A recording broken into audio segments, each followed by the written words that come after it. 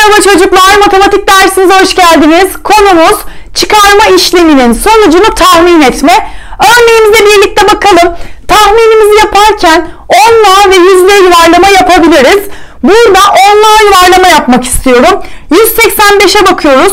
Onluğa yuvarlarken birler basamağına bakıyoruz. Birler basamağında 5 olduğu için kendi onluğu 80'de kalmayacak. 190'a yuvarlanacak. Birler basamağında 3 olduğu için kendi onluğu 40'ta kalacak. Daha sonra tahminimizi yapmak için çıkarma işlemini yapıyoruz ve 150 olarak tahmin ettik. Şimdi gerçek işlem sonucuna bakalım. 5'ten 3'ü çıkarırsak 2, 8'den 4'ü çıkarırsak 4, bir aşağıya indiriyoruz. Gerçek sonuç 142. Tahminimiz ile gerçek sonuç arasındaki farkı bulacağız. 150'den 142 çıkarıyoruz ve aradaki farkı 8 olarak bulduk. İşlem sonucunu onluğa yuvarlayarak tahmin edeceğim. Birler basamağında 2 olduğu için kendi onluğu 60'ta kalacak. 360'a yuvarladık. Birler basamağında 4 olduğu için kendi onluğu 70'te kalacak. 170'e yuvarladık. Çıkarma işlemini yapalım. Birler basamağı için 0 yazıyoruz. 6'dan 7 çıkmaz. Komşuya gittik. 16'dan 7 çıkarsa 9. 2'den 1 çıkarsa 1. Tahminimiz 190. Şimdi gerçek işlem sonucuna bakıyoruz. 2'den 4 çıkmaz. Komşuya gidiyoruz. 12'den 4'ü çıkarırsak 8. 5'ten 7 çıkmaz. Komşuya gidiyoruz. 15'ten 7'yi çıkarırsak 8. 2'den 1 çıkarsa 1 kalır. Gerçek işlem sonucunu 188 bulduk. Şimdi iki sonuç arasındaki farkı bulacağız. Bakalım tahminimiz gerçek sonuca ne kadar yakın. Büyük olan hangisi? 190. Önce 190'ı yazıyorum. 188. Aradaki fark 2. Demek ki tahminimiz gerçek sonuca çok yakın. Tahminimizi bu sefer yüzlüğe yuvarlayarak yapalım. Yüzlüğe yuvarlama yaparken onlar basamağına bakıyoruz.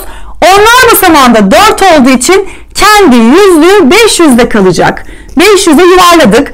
Onlar basamağında 3 olduğu için kendi yüzlüğü 200'de kalacak. Bu şekilde 200'e yuvarladık. İşlemimizi yapalım. 5'ten 2'yi çıkarırsak 3 kalır. Tahminimiz 300. Gerçek işlem sonucuna bakıyoruz. 0'dan 5 çıkmaz. Komşuya gittik. 3 kaldı. 10'dan 5 çıkarsa 5 kalır. 3'ten 3 çıkarsa 0. 5'ten 2 çıkarsa 3. Gerçek işlem sonucu 305. Aradaki farkı bulalım. Büyük olan 305'i yukarı yazdık.